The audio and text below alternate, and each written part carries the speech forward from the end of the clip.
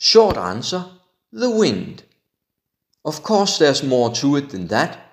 Sailing ships used the dominant wind patterns known as trade winds and westerlies to cover long distances over the ocean and reach the destination with a degree of certainty.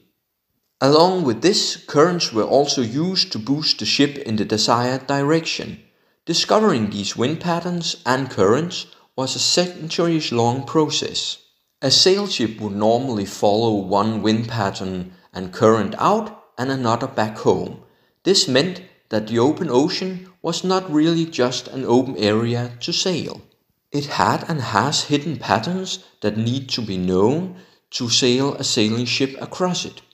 Thus, sailing ships sail by following a set of scouted routes that allow them to reach their destination.